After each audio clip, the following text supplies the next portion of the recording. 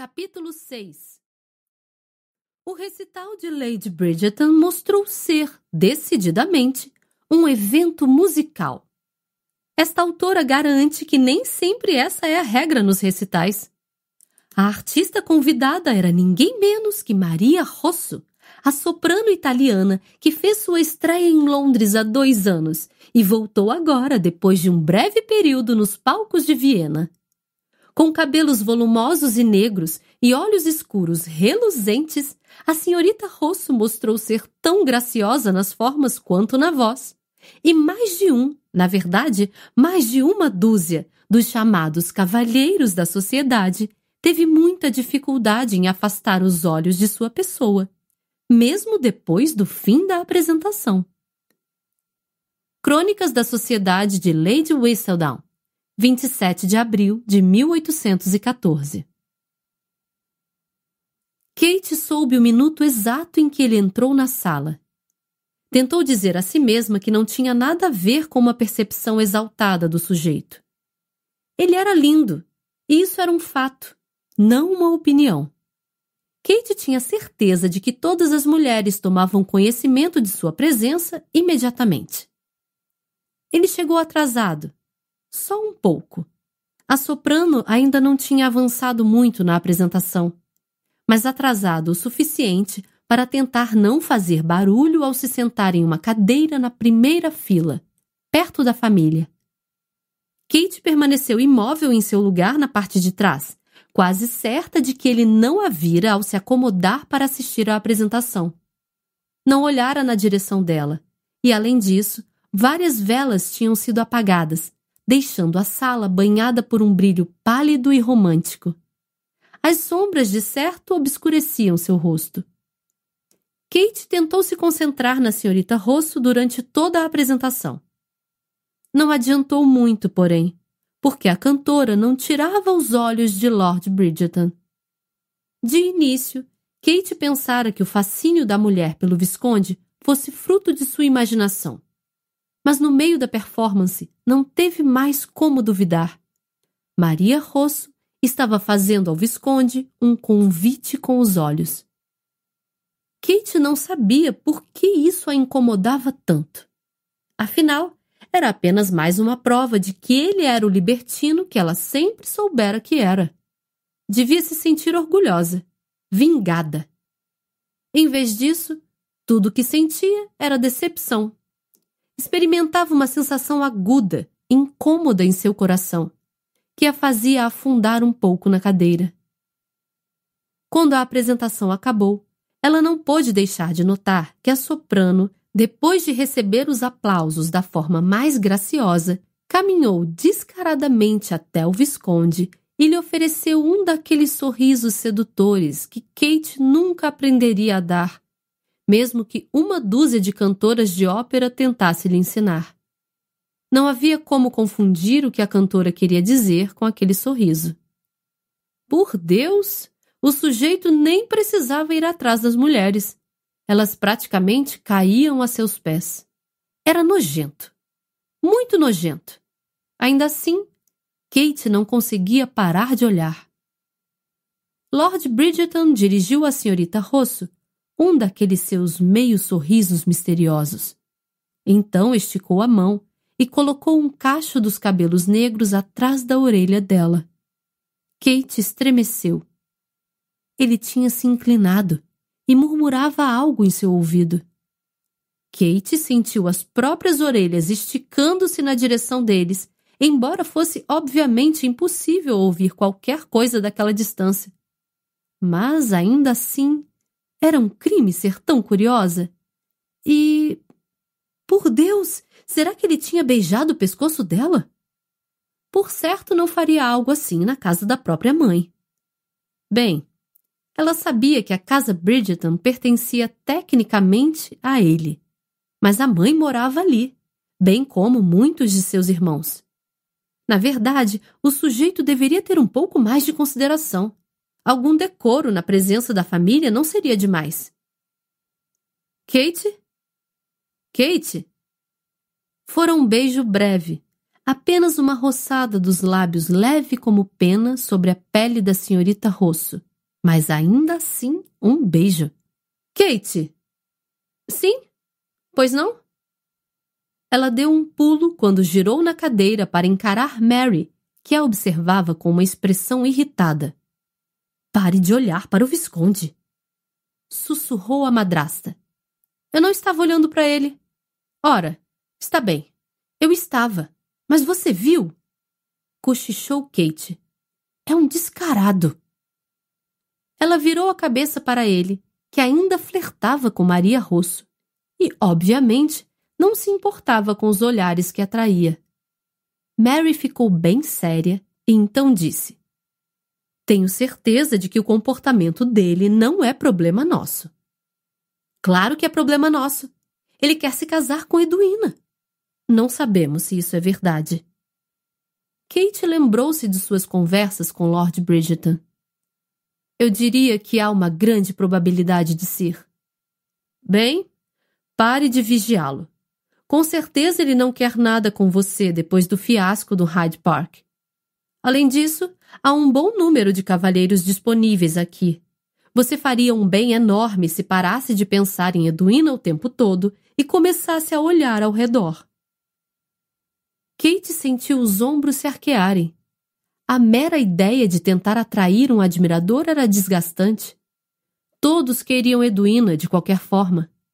E mesmo que ela não estivesse nem um pouco interessada no Visconde, se incomodou ao ouvir Mary dizer que tinha certeza de que ele não queria nada com ela. Mary agarrou o braço da enteada com uma firmeza que não dava abertura a nenhum protesto. Vamos, Kate. Falou em voz baixa. Vamos cumprimentar nossa anfitriã. Kate engoliu em seco. Lady Bridgeton? Ela teria que falar com Lady Bridgeton, a mãe do Visconde? Já era difícil acreditar que uma criatura como ele tivesse uma mãe. Contudo, educação era educação. E por mais que Kate quisesse se dirigir ao saguão e sair dali, sabia que devia agradecer à anfitriã por preparar uma apresentação tão agradável. E fora mesmo agradável ainda que relutasse em admitir, especialmente pelo fato de a mulher em questão estar pendurada no Visconde, Maria Rosso tinha a voz de um anjo. Conduzida com determinação por Mary, Kate chegou à frente do salão e aguardou a vez de cumprimentar a viscondessa. Ela parecia uma mulher adorável, com cabelos louros e olhos claros, e muito baixinha para gerar filhos tão altos. O falecido Visconde devia ter sido um homem grande, concluiu. Enfim, elas chegaram à frente da pequena multidão e Lady Bridgeton segurou a mão de Mary. Senhora Sheffield, falou com a voz branda. Que prazer vê-la mais uma vez. Gostei tanto do nosso encontro no baile de Hartside na última semana. Fico muito feliz que a senhora tenha aceitado meu convite nem sonharíamos em passar a noite em outro lugar. Retrucou Mary. Gostaria de lhe apresentar minha filha. Ela apontou para Kate, que deu um passo à frente e inclinou-se numa mesura respeitosa. É um prazer conhecê-la, senhorita Sheffield, disse Lady Bridgerton. Sinto-me igualmente honrada, respondeu Kate. Lady Bridgeton fez um gesto para uma jovem a seu lado. E essa é minha filha, Eloise. Kate sorriu de modo afetuoso para a garota, que parecia ter a idade de Edwina. Os cabelos eram da mesma cor dos de seus irmãos mais velhos, e o rosto estava iluminado por um sorriso largo e simpático. Kate gostou dela de imediato. Como vai, senhorita Bridgerton? Falou Kate. É sua primeira temporada? Heloise assentiu. Oficialmente deveria ser apenas no ano que vem, mas minha mãe me permitiu participar de alguns eventos aqui na casa Bridgerton. Que sorte a sua! comentou Kate. Eu adoraria ter ido a algumas festas no ano passado. Nesta primavera, quando cheguei a Londres, tudo era tão novo. Minha cabeça dá um nó só de tentar lembrar o nome de todos. Heloise sorriu na verdade, minha irmã Daphne debutou há dois anos e descreveu a tudo e a todos com tantos detalhes que sinto como se já conhecesse praticamente todo mundo. Daphne é sua filha mais velha? Perguntou Mary a Lady Bridgeton. A viscondessa assentiu. Casou-se com o Duque de Hastings no ano passado. Mary sorriu.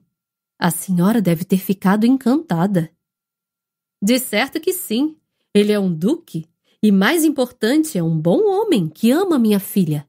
Espero apenas que meus outros rebentos tenham casamentos tão maravilhosos quanto o dela. Lady Bridgeton inclinou a cabeça levemente para o lado e virou-se para Kate. Ouvi dizer, senhorita Sheffield, que sua irmã não pôde vir esta noite. Kate tentou conter um gemido. Era evidente que Lady Bridgeton já imaginava Anthony e Edwina caminhando para o altar. Infelizmente, ela pegou um resfriado na semana passada. Nada sério, espero. Disse a viscondessa para Mary, num tom de mãe para mãe. Não, de forma alguma. Respondeu Mary. Na verdade, ela está quase curada, mas achei que deveria convalescer por mais um dia antes de sair ao ar livre. Não seria bom ter uma recaída? Não, claro que não. Lady Bridgeton fez uma pausa e em seguida sorriu. Bem, é uma pena. Eu estava ansiosa para conhecê-la. Edwina, não é?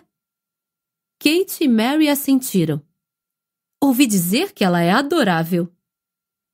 Ao mesmo tempo que Lady Bridgeton dizia essas palavras, lançava um olhar para o filho, que flertava enlouquecidamente com a cantora de ópera italiana e franzia a testa. Kate sentiu um embrulho no estômago. De acordo com os números recentes do Whistledown, Lady Bridgeton estava em uma missão para casar o filho. E embora o Visconde não parecesse o tipo de homem que satisfizesse a vontade da mãe, ou de qualquer pessoa, aliás, Kate tinha a sensação de que a senhora conseguiria exercer alguma pressão se quisesse. Após alguns instantes conversando sobre amenidades, Mary e Kate deixaram Lady Bridgeton à vontade para cumprimentar o restante dos convidados. Em pouco tempo, a senhora Featherington, que, como mãe de três filhas solteiras, sempre tinha muito a dizer a Mary sobre uma ampla variedade de assuntos, se aproximou das duas mas enquanto a mulher gorducha avançava na direção delas, seus olhos pousaram em Kate. Kate, na mesma hora, começou a avaliar possíveis rotas de fuga. Kate! gritou a mulher. Havia muito ela se considerava íntima dos Sheffields. Que surpresa vê-la por aqui! E por que razão, senhora Featherington? Indagou Kate, confusa. Com certeza você leu o Whistledown de hoje. Kate sorriu sem graça. Ou fazia isso ou se encolhia. Ah, a senhora se refere ao pequeno incidente envolvendo meu cachorro? A senhora Featherington ergueu as sobrancelhas. Pelo que ouvi dizer, foi mais que um pequeno incidente. Não foi nada demais. Retrucou Kate com firmeza, embora, para dizer a verdade, achasse difícil não rosnar diante daquela mulher indiscreta. E devo dizer que fiquei ressentida com Lady Whistledown por se referir a Newton como um cão de raça indeterminada, pois saiba a senhora que ele é um corge de raça pura. Isso era o menos importante, comentou Mary, enfim tomando a defesa de Kate. Fico surpresa que merecesse uma menção na coluna. Kate ofereceu à Sra. Featherington o sorriso mais brando que pôde, plenamente consciente de que ela e a madrasta mentiam. Afogar Edwina e quase afogar Lord Bridgerton no lago Serpentine não era um pequeno incidente. Mas se Lady Whistledown não fora capaz de narrar todos os detalhes, com certeza Kate não iria preencher as lacunas. A senhora Featherington abriu a boca e inspirou de forma brusca, o que queria dizer que ela estava se preparando para um longo monólogo sobre a importância do bom comportamento, ou das boas maneiras, ou de uma boa criação, ou do bom qualquer que fosse o assunto do dia. Por isso, Kate se apressou em perguntar: Posso pegar uma limonada para as senhoras? As duas matronas disseram que sim e agradeceram, então Kate se afastou. Ao retornar, porém, sorriu de modo inocente e disse: Mas, como só tenho duas mãos, agora tenho que voltar para pegar um copo para mim. E desapareceu. Parou por alguns instantes na mesa de limonada, para o caso de Mary estar olhando. Em seguida, saiu quase correndo da sala em direção ao corredor, onde afundou em um banco acolchoado a cerca de 10 metros do salão de música, ansiosa por um pouco de ar. Lady Bridgeton deixara abertas as portas duplas que davam para o pequeno jardim nos fundos da casa, mas havia tantas pessoas lá dentro que o ar estava sufocante, mesmo com a leve brisa vindo de fora. Ela continuou sentada por vários minutos, mais que satisfeita pelo fato de os outros convidados não terem decidido espalhar-se no corredor. Mas então ouviu uma voz específica erguer-se um pouco acima do barulho da multidão, seguida por uma gargalhada melodiosa.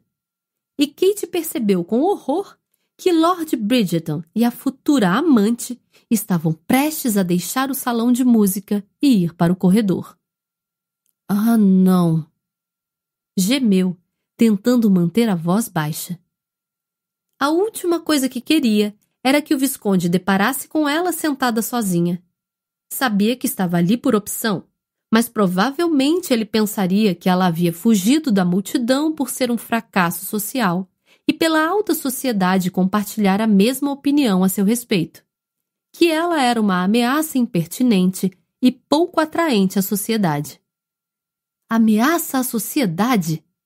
Kate trincou os dentes. Levaria um longo, longo tempo até que ela o perdoasse por isso. No entanto, estava cansada e sem a menor vontade de lidar com ele naquele momento. Por isso, ergueu as saias alguns centímetros para evitar tropeçar e caminhou depressa para o vão da porta próximo ao banco. Com um pouco de sorte, o Visconde e a amante passariam sem vê-la, e ela poderia voltar correndo para o salão de música, sem que tivessem percebido sua ausência. Kate lançou um olhar à sua volta ao fechar a porta. Havia um lampião aceso sobre a escrivaninha, e enquanto seus olhos se ajustavam à escuridão, ela percebeu que estava em um tipo de escritório. As estantes estavam cheias de livros, embora não em número suficiente para ser a biblioteca dos Bridgetons. E a sala era dominada por uma enorme escrivaninha de carvalho. Havia papéis no topo de pilhas organizadas e uma pena e um vidrinho de tinta ainda se encontravam sobre a mesa. Claramente aquele escritório era usado de verdade. Alguém realmente trabalhava ali.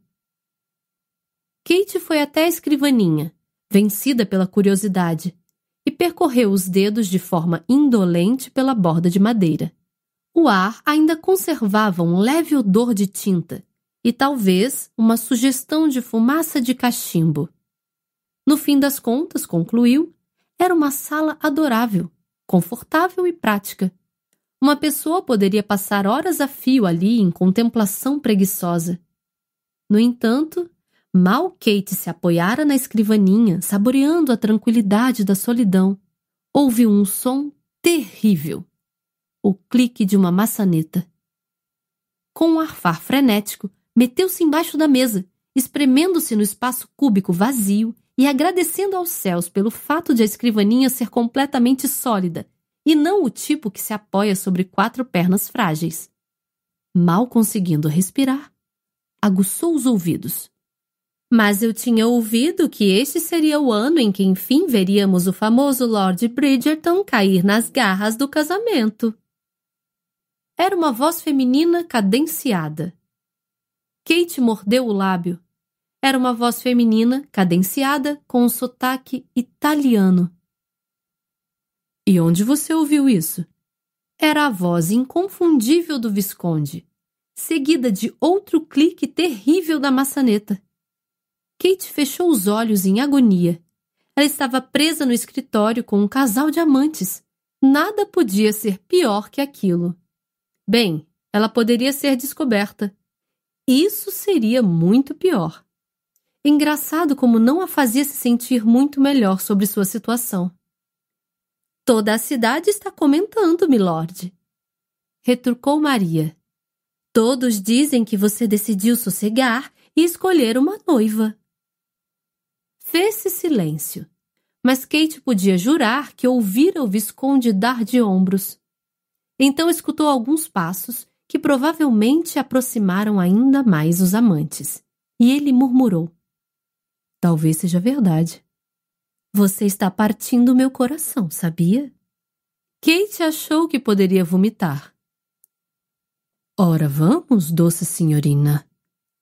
O som de lábios sobre pele. Nós dois sabemos que seu coração é imune a qualquer de minhas maquinações.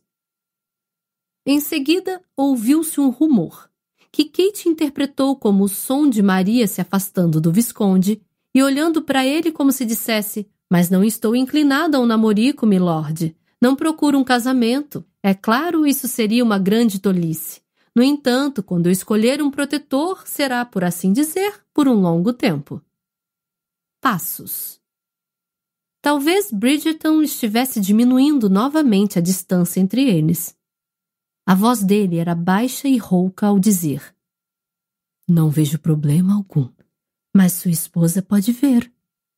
Bridgerton deu uma risadinha. A única razão para desistir de uma amante é apaixonar-se pela esposa. E como não pretendo escolher uma esposa pela qual me apaixone, não vejo razão para me privar dos prazeres de uma mulher adorável como você. E você quer se casar com Edwina? Kate precisou se esforçar para não gritar.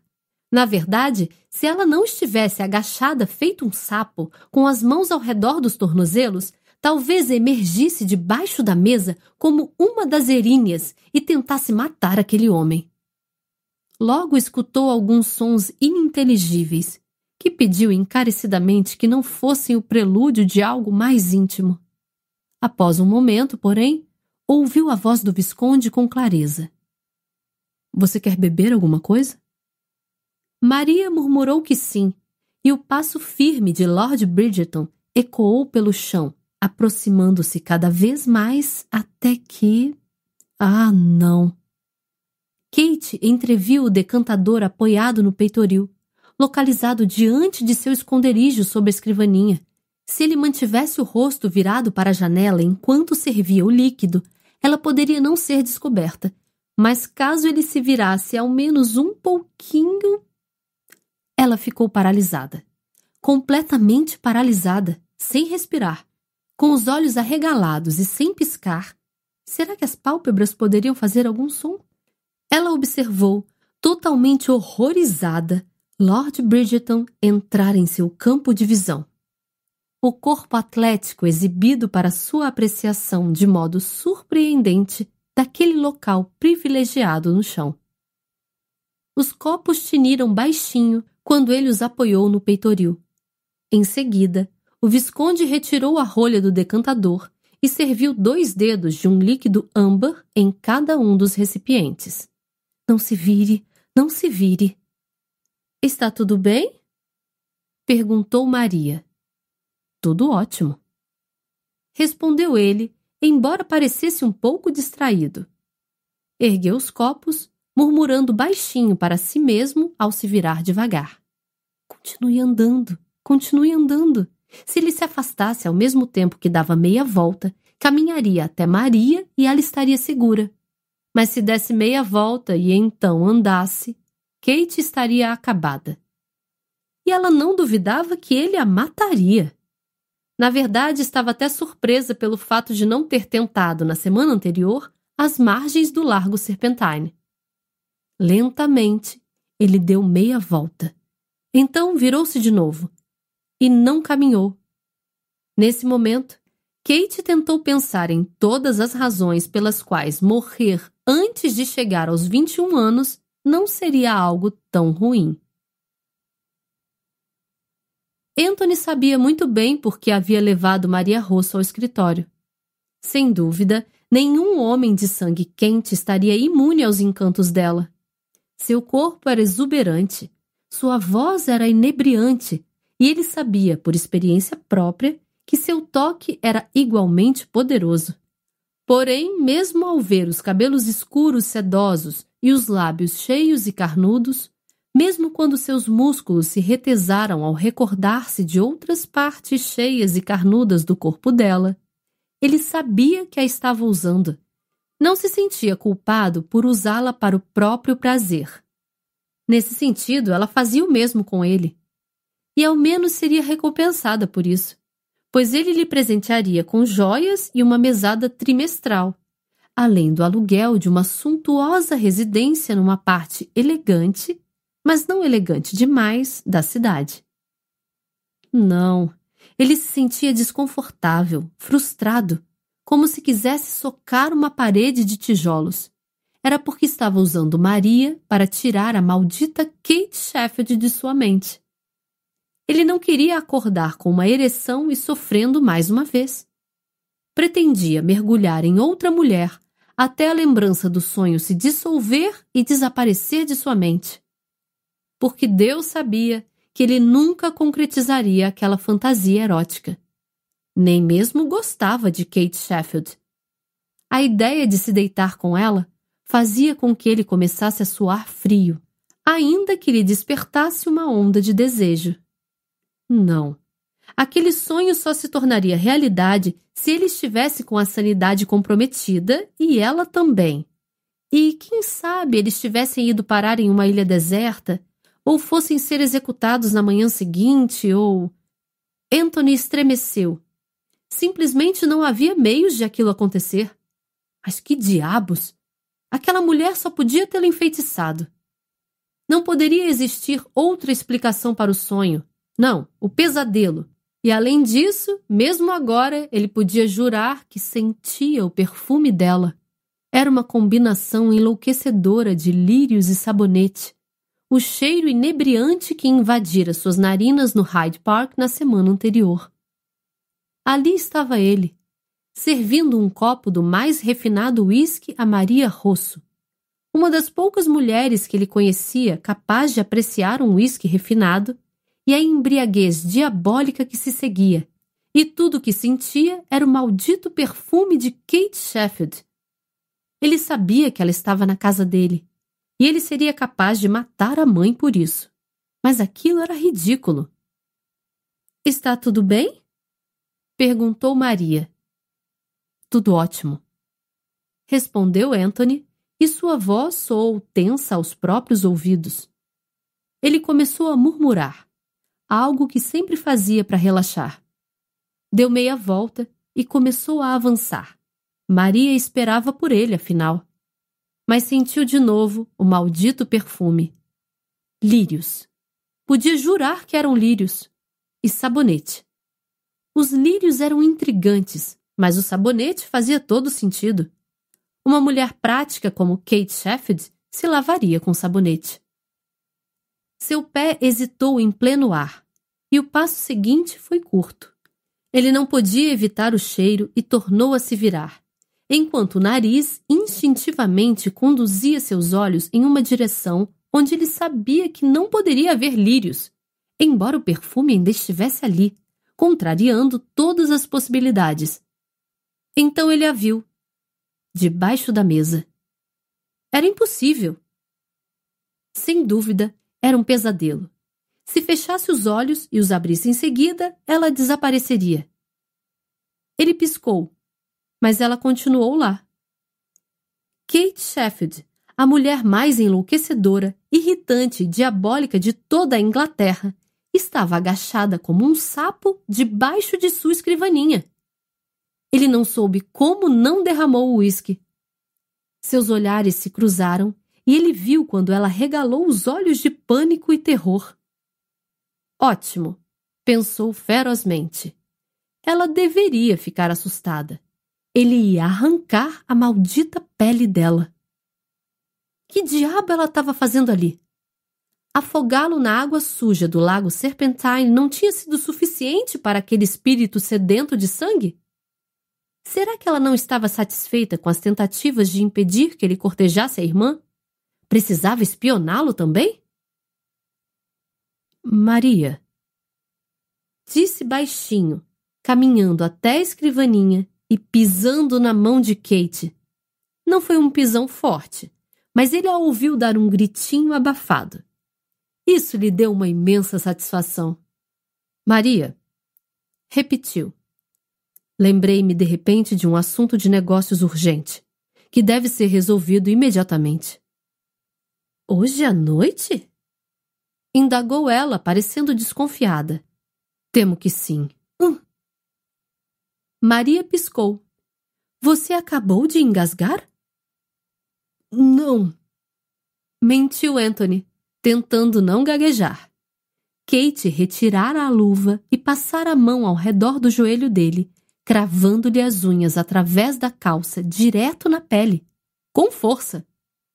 Ao menos ele achou que fossem as unhas. Poderiam ser os dentes. Você tem certeza de que não há nada errado? Insistiu Maria. Absoluto. Qualquer que fosse a parte do corpo que Kate estivesse enfiando em sua perna, afundou-se um pouco mais. Tá. A última sílaba saiu mais como um uivo, e ele levou o pé à frente, encostando em algo que suspeitou ser a barriga dela. Normalmente, Anthony morreria antes de bater em uma mulher, mas aquele parecia um caso excepcional. Na verdade, ele não deixou de sentir certo prazer ao chutá-la enquanto ela estava abaixada. Afinal, Kate estava mordendo a perna dele. Permita-me levá-la até a porta. Disse a Maria, balançando a perna para que Kate soltasse seu tornozelo. Mas os olhos da cantora demonstravam curiosidade e ela deu alguns passos para frente. Anthony? Tem algum animal debaixo da sua escrivaninha? Ele deu uma risada. Pode-se dizer que sim. Kate enfiou o punho no pé dele. É um cachorro? Anthony pensou seriamente em responder que sim, mas nem ele era tão cruel. De certo, Kate apreciou sua consideração, pois soltou a perna dele. O Visconde aproveitou a oportunidade e saiu depressa de trás da escrivaninha. Seria imperdoável se eu a acompanhasse apenas até a porta e não até o salão de música? Perguntou, caminhando ao lado de Maria e segurando seu braço. Ela riu, um som baixo e exuberante que deveria tê-lo seduzido. Sou uma mulher adulta, milord. Acredito que posso percorrer sozinha pequenas distâncias. Você me perdoa? Ela passou pela porta que ele mantinha aberta para ela. Imagino que nenhuma mulher viva poderia negar-lhe perdão diante desse sorriso. Você é uma mulher muito especial, Maria Russo. Ela voltou a rir, mas, pelo visto, não tão especial assim. Ela flutuou para fora do escritório e Anthony fechou a porta com um baque decidido. Então obedeceu a seu diabinho interior, girando a chave na fechadura e depois guardando-a no bolso. Muito bem! Rugiu ele, eliminando a distância até a escrivaninha com quatro passos longos. Saia daí! Kate não se moveu rápido o suficiente. Então ele estendeu a mão, agarrou-a pelo braço e a pôs de pé. Explique-se sibilou. As pernas dela praticamente travaram quando o sangue voltou a circular nos joelhos, que tinham ficado dobrados por quase 15 minutos. Foi um acidente, falou, agarrando-se à beirada da escrivaninha para não cair. É engraçado como essas palavras parecem sair de sua boca com uma frequência assustadora. É verdade! protestou ela. Eu estava sentada no corredor e ela engoliu em seco. Ele dera um passo à frente e agora se encontrava muito perto. Eu estava sentada no corredor. Repetiu, e sua voz parecia um chiado rouco. Então ouvi se aproximando. Só queria tentar evitá-lo. Então invadiu meu escritório. Não sabia que era seu escritório. Eu. Kate respirou fundo ele se aproximara ainda mais, e as lapelas justas e amplas estavam agora a apenas alguns centímetros do corpete do vestido. Ela sabia que a proximidade era proposital, que ele queria intimidá-la e não seduzi-la, mas isso não acalmava as batidas frenéticas de seu coração. Acho que talvez a senhorita soubesse, sim, que este era meu escritório. Murmurou ele, enquanto o dedo indicador percorria a lateral do queixo dela. Talvez não estivesse procurando me evitar, afinal.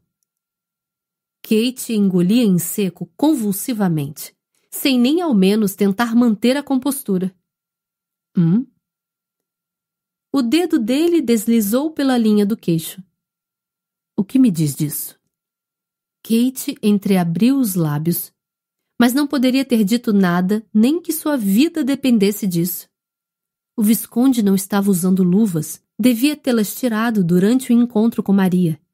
E o toque da pele dele na sua era tão poderoso que parecia controlar todo o seu corpo. Kate respirava quando ele fazia uma pausa e parava de respirar quando ele se movia. Não tinha dúvida de que seu coração batia no mesmo ritmo do pulso dele. Talvez. Sussurrou ele, tão próximo agora que sua respiração beijou os lábios dela. A senhorita desejasse outra coisa. Kate tentou balançar a cabeça, mas seus músculos se recusaram a obedecer. Tem certeza? Dessa vez, sua cabeça atraiu e balançou um pouco.